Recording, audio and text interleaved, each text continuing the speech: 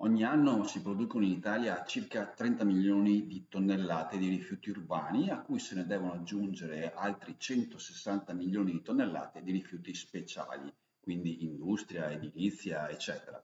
Una quantità enorme che ci costa denaro gestire correttamente, in particolare per quella parte che non è riciclabile e quindi finisce o in discarica o viene bruciata negli inceneritori.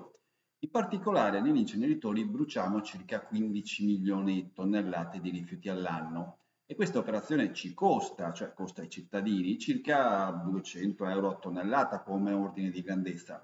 Eh sì, perché dovete sapere che è il comune che paga l'inceneritore affinché questo accetti eh, i rifiuti da bruciare e non viceversa. Ora, ricordiamo innanzitutto che per ogni tonnellata di rifiuti bruciati si genera una tonnellata di emissioni di CO2, l'anidride carbonica. Ricordiamo poi che è stato deciso che sia i prodotti che arrivano da fuori Europa dovranno pagare una tassa proporzionale proprio a quanta CO2 è stata emessa durante la loro fabbricazione, ma anche le emissioni di CO2 interne all'Europa saranno tassate, comprese quelle degli inceneritori. Quindi, se nel 2026 useremo ancora gli inceneritori, il costo di smaltimento aumenterà di quasi un centinaio di euro a tonnellata ed è un mercato per cui nessuno può essere sicuro dell'importo esatto. Sovraccosto che pagheremo noi con le relative tasse.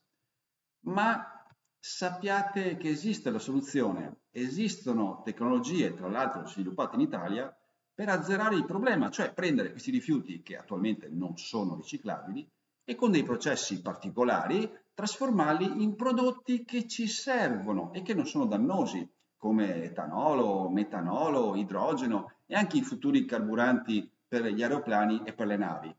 Il tutto senza emettere CO2 in atmosfera.